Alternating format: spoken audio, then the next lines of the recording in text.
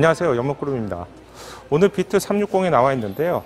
새롭게 출시된 4세대 소렌트의 경쟁력을 살펴보고요. 특히 실내 공간 중에서 3열 공간을 집중적으로 살펴보겠습니다. 우선 외부 디자인부터 보시죠. 디자인은 이렇게 이마가 툭 튀어나온 듯한 디자인, 입체적인 요소들이 많이 들어가 있습니다. 측면부를 한번 보시게 되면 바로 이 부분이었죠. 이 부분이 정 측면이나 앞에서 봤을 때는 튀어나오지 않는데 여기 45도 각도에서 보시게 되면 이쪽 조금 튀어나오면서 마치 입이 돌출된 것처럼 보이지 않겠느냐라고 좀 부정적인 인식도 있었는데요. 실제 차량을 보니 그런 부분은 거의 없습니다. 특히 입체적인 디자인 이쪽 부분과 동일한 디자인을 뒤에 범퍼에서 찾을 수가 있는데요. 바로 가보시죠. 바로 이쪽 부 디자인이죠. 보이시나요? 앞에 디자인과 이 디자인이 동일하게 매칭이 되는 디자인입니다. 역시 후면부에서도 하나, 그리고 둘, 세 개. 세 개의 디자인이 입체적인 디자인이 적용되어 있음을 알 수가 있습니다. 측면부의 디자인도 한번 살펴보겠습니다. 현재 바퀴의 사이즈는 255, 편편비 45, R 20인치 타이어가 적용되어 있습니다. 현재 이렇게 적용되어 있고도 주먹 하나 정도가 들어가는 충분한 용량을 볼 수가 있고요. 이 정도라면은 더 업해도 될 것 같습니다. 디자인은 이렇게 좀 강렬하고 터프한 느낌의 휠이 적용되어 있습니다. 브레이크 캘리퍼는 원피가 들어가 있고요. 아마 이 부분은 시승을 통해서 확인해야 되겠지만 브레이크를 많이 밟았을 때, 뭐 적당히 밟았을 때 밀지 않겠지만 연속으로 계속 브레이크에 스트레스를 주었을 때 얼마나 밀리는지도 시승을 통해서 알아보겠습니다. 전면부 디자인도 같이 보시죠. 전면부의 디자인 특징은 기역자 형상의 주간 주행등입니다. 이 부분이 마치 호랑이 tiger face라고 하는데 tiger face의 눈물과 같은 그런 쪽과 같은 디자인이고요. 디자인 특징은 헤드램프와 그릴이 하나로 이어진 것을 볼 수가 있는데 이러한 디자인은 셀토스에서 볼 수가 있었고요. 그리고 작년 말에 출시된 K5에서도 일체형 디자인을 볼 수 있었습니다. 그리고 올해 7월에 출시된 카니발에서도 동일한 디자인을 볼 수가 있습니다. 헤드램프 디자인을 살펴보겠습니다. 하나, 둘, 세 개 LED 타입이 들어가 있고요. 각각 디귿자처럼 디자인이 되어 있습니다. 세 개의 LED는 마치 show car에서 볼 수 있는 디자인인데 실제 양산차에도 이 정도 디자인이 적용된다는 점은 사실 국내 차 브랜드의 디자인 능력에 대해서 높게 평가하는 부분입니다. 측면부 디자인을 살펴보겠습니다. 헤드램프부터 쭉 연결되다가 캐릭터 라인은 평범하게 한 줄의 캐릭터 라인으로 이어집니다. 이러한 캐릭터 라인은 마치 대형 세단처럼 차량을 크게 보이는 장점도 가지고 있지만요. 어떻게 보면 측면부의 디자인이 점점 심심하다는 느낌을 줄 수 있게 되는데 4세대 소렌토에는 세 가지 포인트 디자인이 들어가 있습니다. 첫 번째는 이 부분이죠. 어떻게 보면 뭐 시칼 같은 디자인이 들어가 있는데 생각보다 좀 밋밋합니다. 이 부분에 좀 구멍을 주거나 무늬를 줬다면 좀 더 좋았을 것 같고요.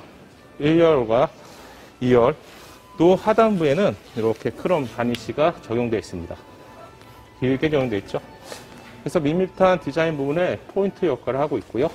그리고 세 번째 마지막 부분입니다. 세 번째 부분은 상어의 지느러미처럼 보이는 이 싹스핀 디자인이죠. 이 디자인은 과거의 시드 차량에서도 볼 수가 있었고요. 지금 보시는 소렌토에서 적용되었고 올해 7월에 출시될 카니발에서도 이러한 디자인의 특징은 같이 적용이 됩니다. 따라서 디자인 아이덴티티를 같이 공유하는 것을 알 수가 있습니다. 지금 현재 테일 램프가 들어와 있는 상태고요. 테일 램프의 디자인은 마치 보석처럼 반짝반짝 아름다운 디자인이 되어 있고 세로 타입의 디자인으로서 폭버섯처럼 좀 웅장한 느낌을 받을 수 있습니다. 바깥쪽 부분이 지금 브레이크 등이고요. 안쪽 부분이 방향 지시 등 역할을 하고 있습니다. 뒤에 보시게 되면 정말 다른 부분은 뭐죠? 바로 rear 와이퍼가 없다는 점이죠. rear 와이퍼가 존재하지 않습니다. 어디에 있을까요? 이 리어 와이프는 여기 있습니다. 따라서 뒤 부분이 굉장히 깔끔하게 보인다는 장점을 가지고 있는데 한편으로 굉장히 심심하게 보일 수도 있습니다. 또한 와이퍼를 주기적으로 교체하게 되는데 교체할 때는 와이퍼를 어느 정도 빼놓고 빼서 작동을 해야 되기 때문에 좀 불편한 부분도 분명히 존재가 합니다. 트렁크 스위치는 보통 이 위치에 있었는데요. 이자 밑에 소렌토의 이자 밑에 이 부분에 적용됩니다. 한번 눌러볼까요?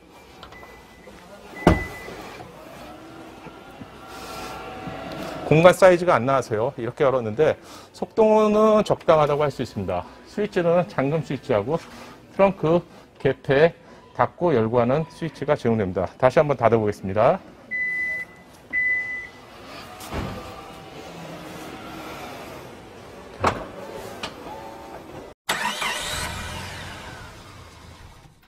신차를 발표를 보러 왔을 때 이렇게 자를 준비합니다. 자를 준비하는 이유가 있는데 사실 1cm라도 정확하게 여러분께 전달해 주는 게 중요하다고 생각을 하는데요.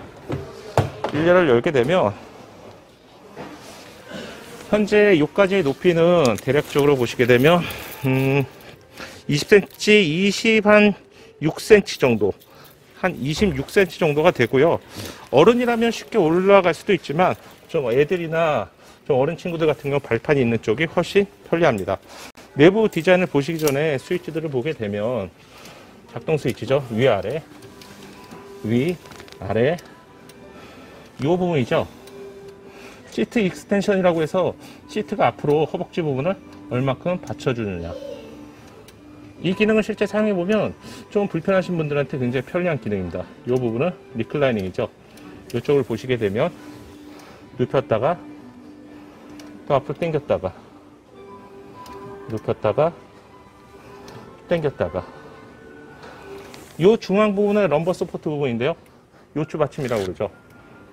마치 사람이 숨을 쉬고 있는 것처럼 배부르게 불로 쑥, 위, 아래 에서 이렇게 작동이 되는 것을 볼 수가 있습니다. 운전석 공간을 살펴보기 전에 1열 도어 부분을 먼저 살펴보겠습니다. 도어 부분만 띄워놓고 본다면 어, 이 차량이 SUV야? 마치 대형 세단을 보는 것처럼 굉장히 고급스럽게 되어 있습니다. 이 손잡이 부분은 어디서 봤었죠? 이 손잡이 부분은 바로 포르쉐 차량에서 봤었죠. 포르쉐 같은 차량에 이 디자인들이 있고요. 기본적인 버튼의 질감이나 조작감들은 이 정도 충분히 좋다고 생각합니다. ambient 부분도 한번 보시죠. ambient 부분이 door catch 앞에 이 부분에 제공이 되고요. 그리고 요 밑에서 제공이 됩니다. 지금 그린 계열의 색상이 들어와 있는 것을 볼 수가 있고 쭉 가보세요. 연결돼서 저 끝까지 제공되는 것을 알 수가 있습니다. 운전석 쪽에 앉아 보겠습니다. 지금 보시면 이쪽 한번 더 볼게요. 이쪽 부분을 다시 보게 되면 두 명 사람까지 메모리 시트를 지원하는 것을 볼 수가 있습니다. 정차 상태에서 set를 누른 다음에 1번, 1번 메모리 저장이 되는 기능이고요. 2번을 누르게 되면 2번으로 메모리가 저장이 되는 기능입니다. 밑에 하단에는 크렐 스피커, 크렐 오디오 시스템이 장착되어 있고요. 음, 개인적으로 보스 쪽이 좀 더좀 풍성하고 웅장한 중저음 사운드를 제공하기 때문에 이왕이라면 뭐 크레보다는 음, 보스 쪽이 좀 더 제공되었다면 좀 더 좋지 않았을까 생각합니다. 지금부터 운전자 공간을 세부적으로 살펴보겠습니다. 한번 쭉 보시고요. 저는 가장 궁금했던 부분이 사실 이 부분 디자인이었어요. 이 부분 디자인이 어떻을까? 공조 디자인이 굉장히 궁금했었는데요. 공조기 디자인은 예상보다 괜찮은 것 같습니다. 공조기는 총 하나, 위에 큰 거, 밑에 작은 거. 요거는 지금 도리도리 기능뿐이 없어요. 위아래 상하 기능은 밑에 송풍기는 제공하지 않습니다. 다만 위쪽에서는 열고 닫고 좌우 기능이 제공되죠. 이렇게 두 배 용량이 늘어났다는 건 아마도 토출 양에서도 증가되지 않았을까 생각합니다. 하나, 두 개, 그리고 세 개, 네 개, 다섯 개, 여섯 개, 저쪽 멀리 일곱 개, 여덟 개. 보통 1년에 4개의 송풍구가 제공이 되는데 이 차량에서는 무려 8개의 송풍구가 제공되기 때문에 여름이라면요 에어컨 시원한 바람을 빨리 실내를 식혀줄 수 있게 되고요 또 반대로 겨울이라면 따뜻한 바람을 빠르게 늘려줄 수도 있습니다 또한 위에 부분을 닫아 놓고요 이쪽만 되겠죠 그러면 아무래도 바람량이 늘어나겠죠 다리가 시리시거나 무릎이 시리시거나 아니면 여성들도 뭐 소위나 좀 춥게 되겠죠 남성분들도 또 시원한 걸 좋아하시는 분들이 있는데 이쪽 아래쪽의 송풍구는 그런 역할을 할 수 있을 것 같습니다. 핸들의 디자인도 살펴보겠습니다. 투톤 핸들이고요. 사실 이게 별거 아니라고 생각할 수도 있지만 브라운과 블랙 조합인데요. 이 핸들 디자인은 이 핸들 색상은 제네시스 차량에서 시그니처 2 옵션에서 제공되는 부분입니다. 따라서 이 정도가 제공된다는 점은 굉장히 만족스럽다고 할 수 있습니다. 자율주행과 관련된 기능들이 모여져 있고요. 그리고 볼륨이나 전화 같은 기능들이 몰려져 있습니다. 하단에 high glossy 마감이기 때문에 손때가 묻지 않겠느냐? 뭐 이 부분 당연히 묻고요. 좀 관리를 깔끔하게 해주셔야 할 것 같습니다. 기아 자동차 최근에 출시된 K5와 완전히 동일한 디자인의 모니터인데요. 조금 아쉬운 부분이 있어요. 끝을 보면 라운드를 처리했는데 볼 때마다 K5도 그렇고 2차도 그렇고 좀 이 부분이 좀 어색합니다. 뒤쪽을 한번 보시겠습니까? 이렇게 좀 돼 있는데 이 부분을 소나타처럼 좀 더 깎아냈으면 어땠을까 이렇게 좀 생각이 들고요. 공조기 디자인입니다. 근데 이게 작은 좀 햅틱과 같은 좀 진동이라도 줬으면 어떨까 생각이 드는데요. 조작감은 나쁘지 않습니다. 그리고 직관적으로 설계가 되어서 비상 상태에서 이렇게 빠르게 비상 버튼을 누르거나요. 스위치들을 운전자 입장에서 빠르게 작동할 수 있습니다. 특히 이 토글 스위치 같은 경우는 보시는 것처럼 자, 한 번 한 번 할 때마다 0.5도씩 움직이죠. 자, 그럼 이거 길게 누르면 되겠죠. 길게 누르면 빠르게 온도를 원하는 온도까지 도달할 수 있습니다. 통풍 스위치, 온열 스위치가 이쪽에 제공되는데 이쪽에 제공되는 게 어느 차량이었죠? 바로 텔루라이드였죠. 텔루라이드와 이 부분은 거의 동일합니다. 기어 박스 부분이고요. 기어 박스에서 드라이브의 모드에 따라서 불이 들어오기 때문에 명확하게 내가 어떻게 움직이는지 알 수가 있고요.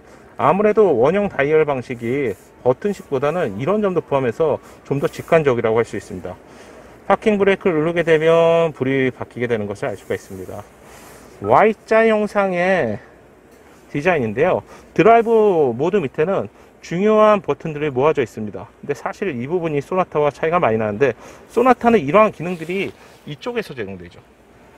이쪽에서 제공되는데 지금 K5를 포함해서 소렌토 같은 경우 이쪽에 제공되거든요.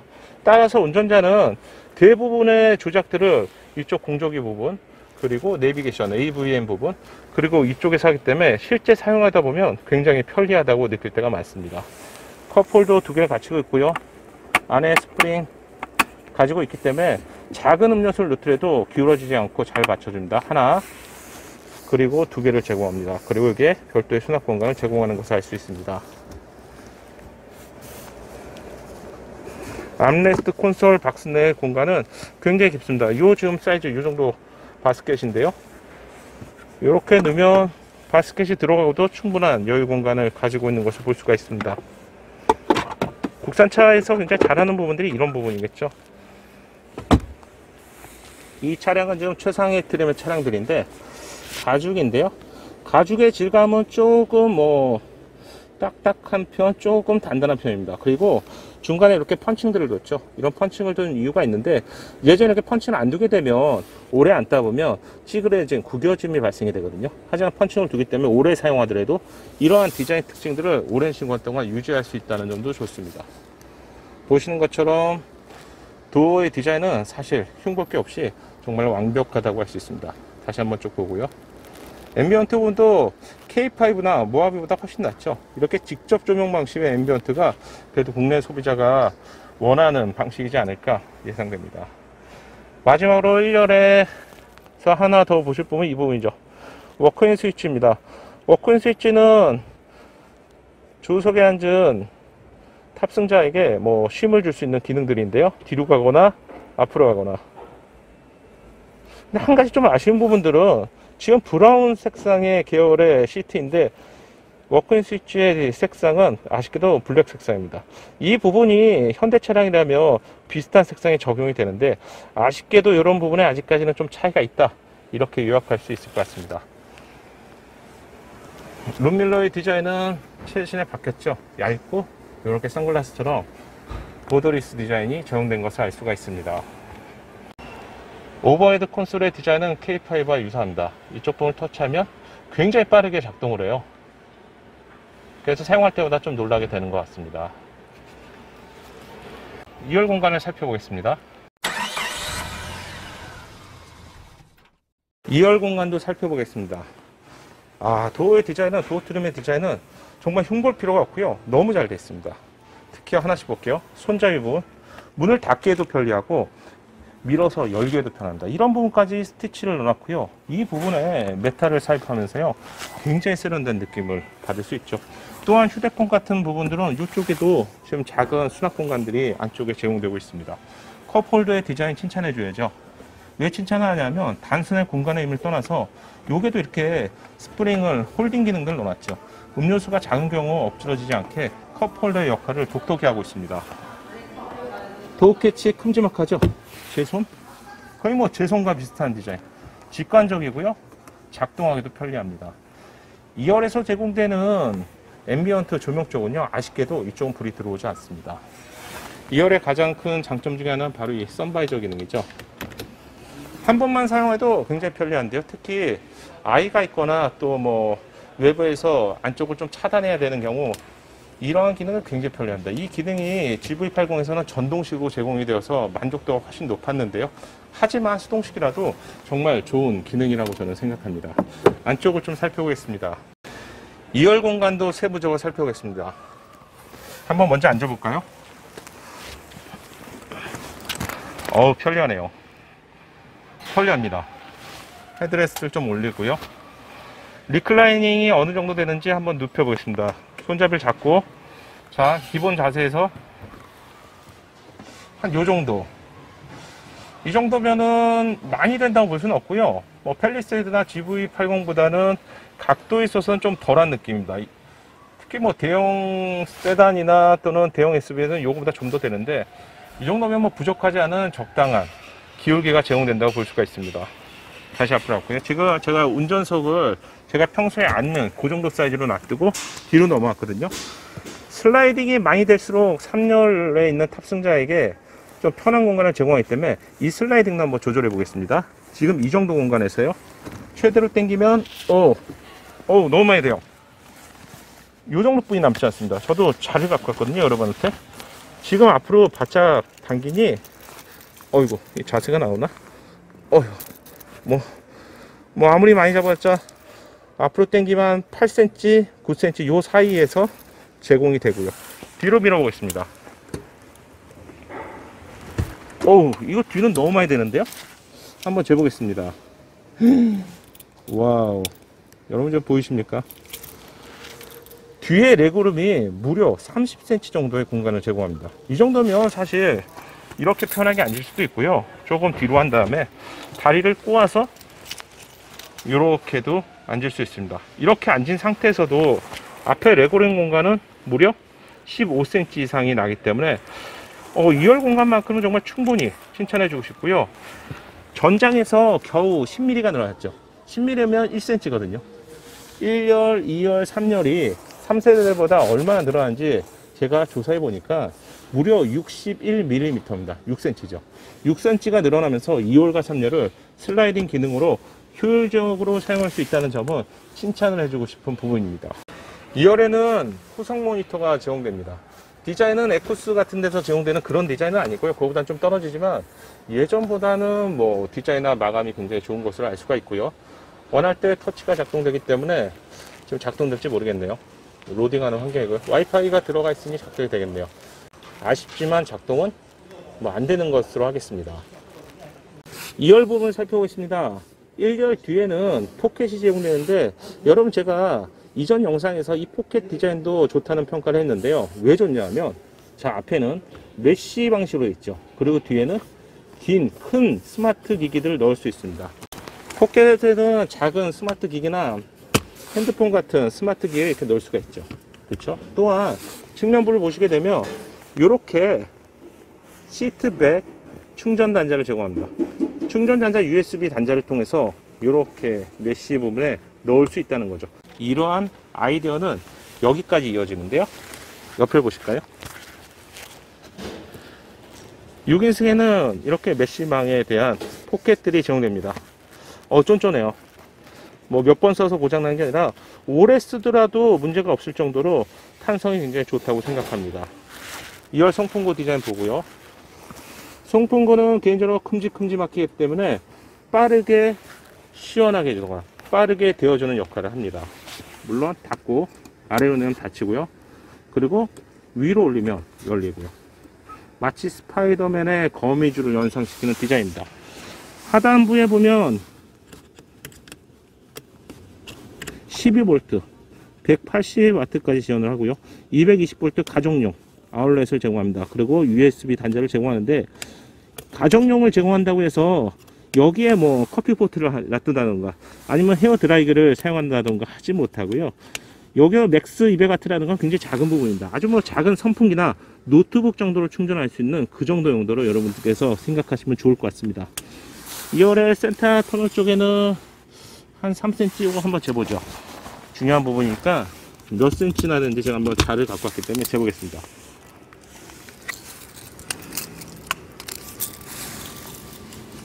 자를 좀요. 대략 한 요 정도가 됩니다. 한 3cm? 다시 한번 재볼까요? 한 2.5cm, 3cm 정도의 터널 쪽이 올라와 있는 것을 확인할 수 있습니다.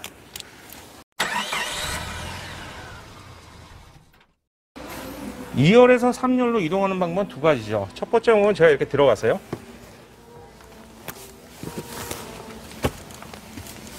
육인승 차량이기 때문에 이쪽 공간을 통해서 이동할 수 있을 것이라고 생각하는데요.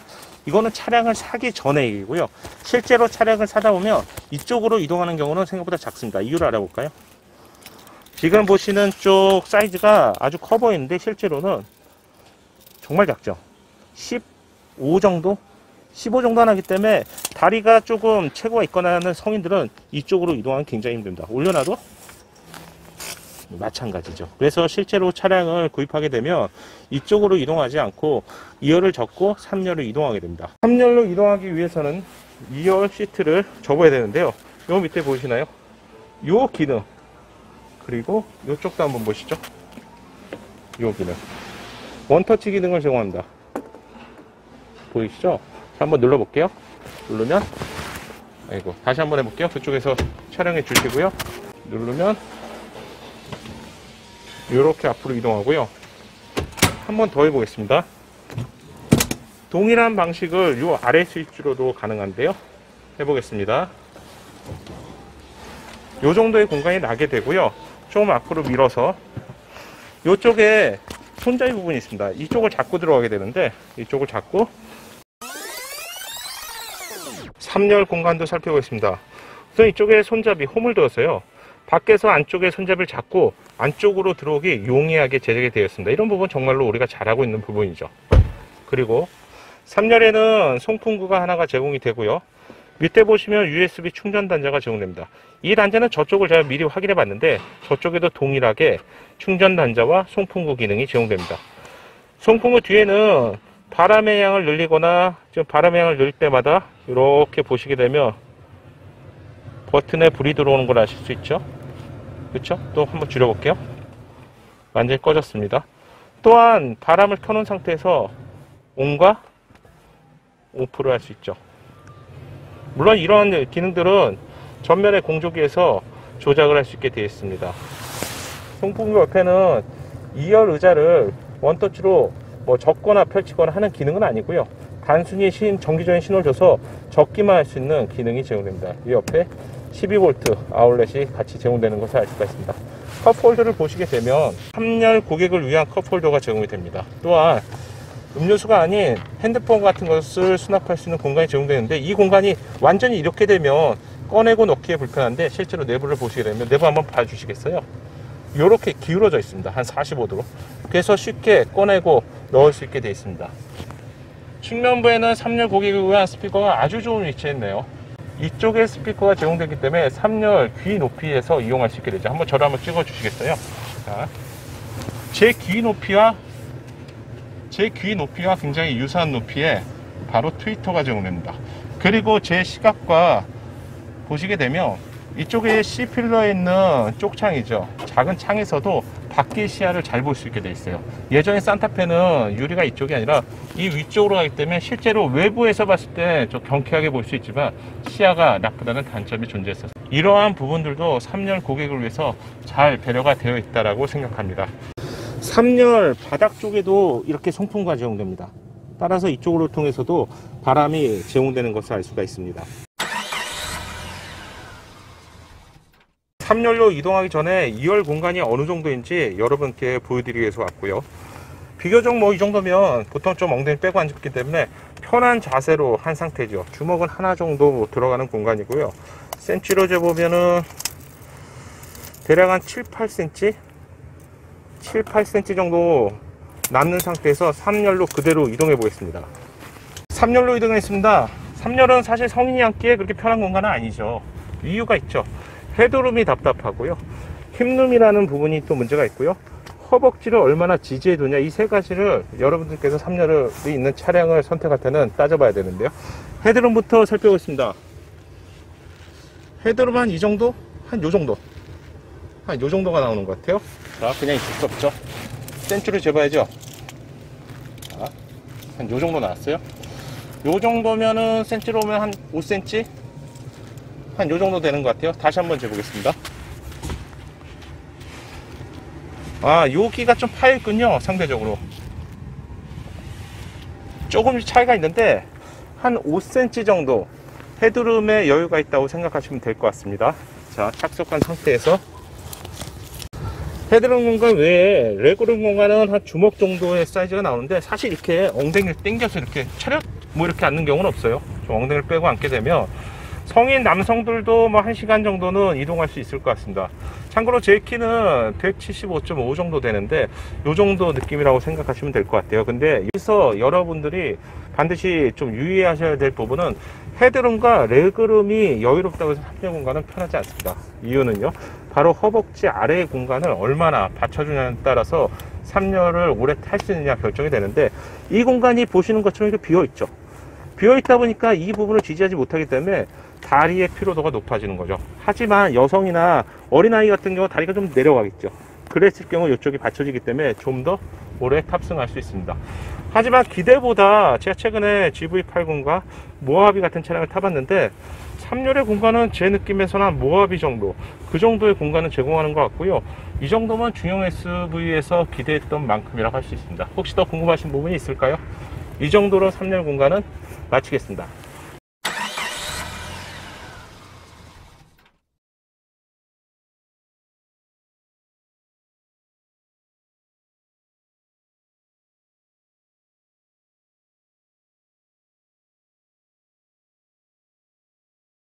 연목그룹의 신차 정보가 작은 도움이 되셨나요? 국내에서 신차 소식을 빠르고 정확하게 듣고 싶다면요. 구독을 부탁드립니다. 공간과 알림 설정까지 하시면요. 편하게 받아보실 수 있죠. 감사합니다.